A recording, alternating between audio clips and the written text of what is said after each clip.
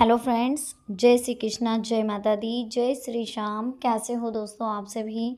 आशा करती हूँ कि आप सभी बहुत अच्छे होंगे। प्रार्थना करूँगी ईश्वर से कि आपको हमेशा खुश रखें। देखिए, आज की हमारी वीडियो बहुत ही प्यारी है, बहुत ही अच्छी वीडियो है, क्योंकि आज की वीडियो का टॉपिक है आपके पिछले जन्म का सच, जिसका प्रभाव इस जीवन पर पड़ रहा है और किस संकेतों के माध्यम से आप ये समझ सकते हैं। तो वो आज हम आपको बताने वाले हैं। बहुत स्पेशल वीडियो, बहुत ही महत्वपूर्ण है। प्लीज़ इस वीडियो को लाइक ज़रूर करें, कमेंट सेक्शन में राधे राधे लिखें। चैनल को सब्सक्राइब ज़रूर करें, बेल आइकन को प्रेस करें, साथ ही वीडियो को शेयर करना बिल्कुल ना भूलें। तो चलिए रिलैक्स हो जाइए, बिल्कुल टेंशन नहीं लेना है। रिलैक्स होकर के, लंबी लंबी साँसें लेकर के स्क्रीन पर आपको दो बुक दिखाई दे रही होगी। फ़र्स्ट जो है कॉफ़ी कलर की, सेकेंड है रेड कलर की। इन दोनों में से कोई एक बुक चूज़ कर लीजिए, उसके बाद हम देखेंगे टेरो कार्ड क्या कह रहे हैं, यूनिवर्स की तरफ़ से क्या संकेत है आपके पिछले जन्म के लिए। तो चलिए शुरुआत करते हैं। फ़र्स्ट नंबर जिसने भी चूज़ करा है, देख लेते हैं आपके पिछले जन्म का क्या सच है और उसका इस जीवन पर क्या प्रभाव पड़ रहा है। देखिए दोस्तों टैरो कार्ड बता रहे हैं कि आप फाइनेंशियल कंडीशन आपकी दिक्कत देती रहती है बार बार खर्चे बहुत ज़्यादा सामने आते रहते हैं फालतू के खर्चे बहुत ज़्यादा होते हैं आपके। कभी गाड़ी ख़राब हो रही है, कभी घर में कोई सामान ख़राब हो रहा है, कभी कोई बीमार पड़ रहा है या कहीं थाने में या कहीं ट्रैफ़िक पुलिस वाले ने आपका चालान काट दिया। मतलब कुछ चीज़ें आपके साथ ऐसी घटित होती रहती है। आप कितना ही पैसा बचाने की कोशिश करते हैं तो एकदम से खर्चा आ जाता है और वो आपको करना ही पड़ता है। यानी कि सेविंग्स आपकी चली जाती हैं। तो इसका तात्पर्य आपके पिछले जन्म से है। वो क्या है? ध्यान से सुनिए। पिछले जन्म में जिन लोगों को अभी आप पैसा दे रहे हैं, या तो इलेक्ट्रिशियन को आप पैसा दे रहे हैं प्लम्बर को आप पैसा दे रहे हैं कोर्ट कचहरी में अगर आप पैसा दे रहे हैं हॉस्पिटल्स में अगर आप पैसे दे रहे हैं तो ये समझ लीजिए कि पिछले जन्म में आपने इन लोगों का पैसा खाया है। या तो आप लोगों ने, आपने इनसे उधार लिया होगा और दिया नहीं होगा तो इस जन्म में इस माध्यम से ये पैसा आप चुका रहे हो। ये ना सोचे कि मेरा पैसा इतना खर्च हो रहा है, मेरा पैसा इतना लग रहा है।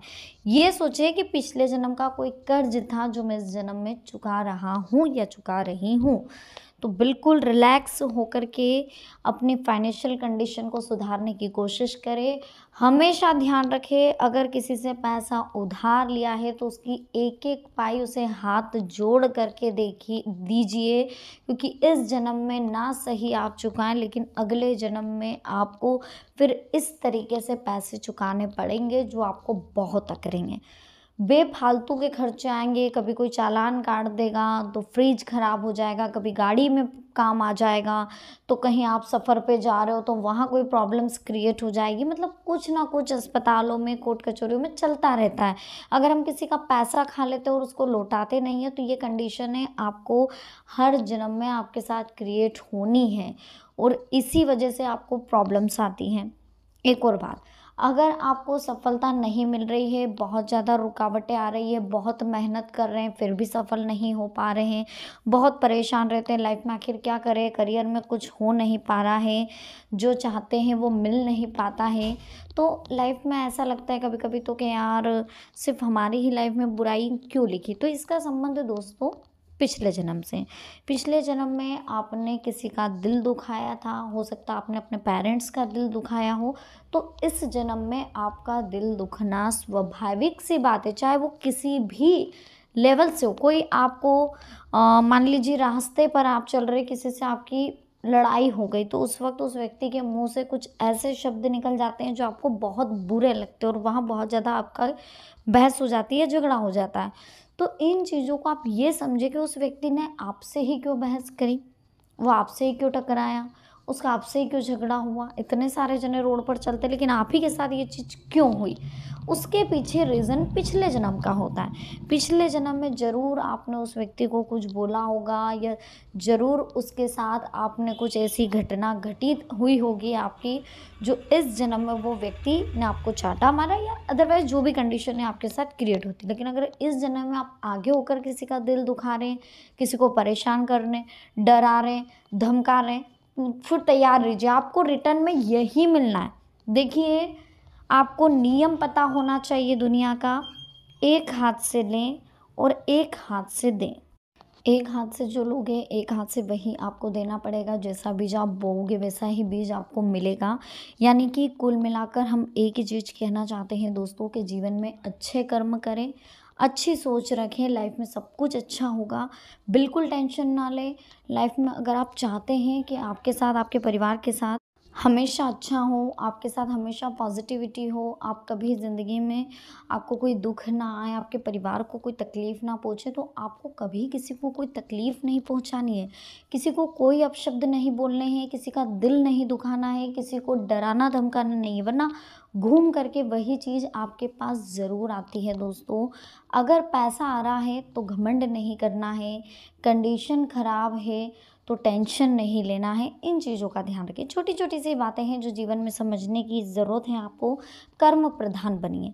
जैसे कर्म अच्छे होंगे, वैसा फल आपको मिलेगा। अगर ये सोच करके आप अपनी लाइफ को जिएँगे तो जीवन में आप कभी गलत नहीं करेंगे और आपके साथ कभी गलत नहीं होगा। ईश्वर आपके साथ हैं।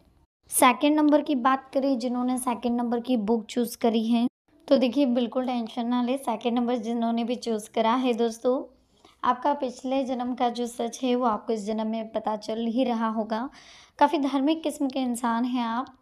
तीन सालों में काफ़ी परिवर्तन आया है, ज़िंदगी को समझने लगे हैं। अब जा कर के मैच्योरिटी आई है एक कार्ड ओपन हुआ है, जो बता रहा है कि अब आपकी लाइफ का एक सक्सेसफुल मोमेंट अब आपको मिलने वाला है। जी हाँ यानी कि जो आपने कर्म पिछले जन्म में करे थे, अब उसका फल आपको मिलने वाला है। इतने दिनों तक जो स्ट्रगल था, जो बुरा स्ट्रगल था, जो बुरा प्रभाव था, वो अब खत्म होने वाला है। अब जो अच्छे कर्म करे थे, अब उसके फल की बारी आ चुकी है। बहुत अच्छा व्यक्तित्व है, दिल बहुत साफ़ है तो फल भी बहुत अच्छा मिलेगा। आप हमेशा दूसरों की बातों को समझते हैं, दूसरों की परिस्थितियों को समझते हैं, उनकी बा, उनकी जो कंडीशनें हैं, उनको सुन करके फिर आप फैसला लेते हैं। अगर कोई आपके पास मदद के लिए आ रहा है, अगर वो कोई आपके पास किसी कारणवश आ रहा है, कुछ मांगने आ रहा है तो आप उसे कभी मना नहीं करते हैं।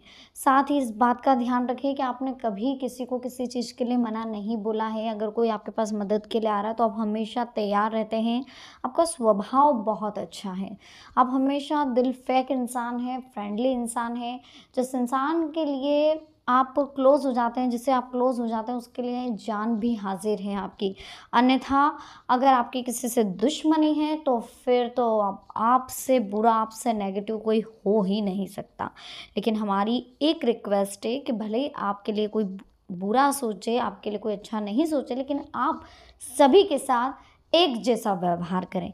यही आपका जो व्यक्तित्व है, सोने पर सुहागे के समान कार्य करेगा। ये चीज़ आप ज़रूर अपने लाइफ में अपनाएँ। बाकी सब कुछ बेस्ट है, बहुत अच्छी लाइफ है, बहुत अच्छा व्यक्तित्व है और बहुत अच्छे कर्म हैं। आपके कर्मों में काफ़ी परिवर्तन आपने करा है। बहुत ज़्यादा चेंजेस आए हैं। बहुत ज़्यादा उपलब्धियाँ अपॉर्चुनिटियाँ भी मिली है। लाइफ को पूरी तरह से समझ चुके हैं आप, किस तरह से सेटल्ड करना है। आप कर्म प्रधान हैं। आप सोचते हैं कि जैसे आप कर्म करेंगे, वैसा आपको फल मिलेगा तो आप अच्छे अच्छे कर्म करने पर ध्यान देते हैं। आप कभी किसी का दिल दुखाते नहीं। अगर गलती से हो भी गया, गुस्से में अगर आपकी किसी से बहस हो गई, आपने किसी को कुछ बोल भी दिया तो वहाँ जा कर के आप उनसे माफ़ी तक मांग लेते हैं। क्योंकि आपका सोचना है कि मेंटल डिस्टर्ब होने से अच्छा है, किसी को सॉरी बोलकर मैटर को सॉल्व कर दिया जाए। बहुत अच्छी सोच है, बहुत ही अच्छी सोच है आपकी। बस दिक्कत ये है कि आपको कोई समझ नहीं पाता। कोई नहीं समझ पा रहा है। सब आपको गलत समझते हैं, सब यही समझते हैं कि आप बहुत बुरे हैं, आप बहुत घमंडी हैं, आपके अंदर बहुत ज़्यादा ईगो है, आप बहुत ज़्यादा दिखावा करते हैं। सब आपको गलत, पूरा अपोजिट समझते हैं। मतलब जैसे आप हैं, उसका पूरा अपोजिट लोग आपको समझते हैं। बहुत ज़्यादा बुरा आपको बना रखा है समाज में फैमिली में फ्रेंड सर्कल में, सब दूर आपको बुरा बना रखा कुछ लोग हैं जो आपको बुरा समझते हैं, जो बुरा मानते हैं, लेकिन उन्हें पता नहीं है कि असलियत में आप है क्या। लेकिन जब जैसे जैसे वो लोग आपसे मिलने लगते हैं, आप उनके कुछ काम करने लगते हो या आप उनके कुछ काम आ जाते हो, फिर उन्हें समझ में आता है कि नहीं यार, इसके बारे में जो मेरे विचार थे, वो कहीं ना कहीं गलत थे। तो जब तक लोग आपसे मिलते नहीं, आपको समझते नहीं, आपसे बात नहीं करते, तब तक वो आपको, आपके फैज़ की वजह से या फिर हो सकता है आपकी लैंग्वेज की वजह से या आप जो बात करने का जो आपका तरीका थोड़ा स्ट्रांगली है तो उस वजह से हो सकता है वो आपको गलत समझते तो टेंशन ना ले ऐसे लोगों से, क्यों बुरा मानना, क्यों इन लोगों की बातों को सुनना, जो बिना सोचे समझे, बिना देखे, बिना बात करे अपना डिसीज़न चेंज कर सकते हैं, ऐसे लोगों की क्या परिभाषा दी जाए, ठीक है? तो वीडियो अच्छी लगी हो प्लीज़ लाइक करें। कमेंट सेक्शन में जय माता दी लिखें चैनल को सब्सक्राइब करें, बेल आइकन को प्रेस करें, साथ ही वीडियो को शेयर करना ना भूलें। तो मिलते हैं नेक्स्ट वीडियो में। अभी के लिए आप सभी को बहुत बहुत धन्यवाद। जय माता दी। हर हर महादेव।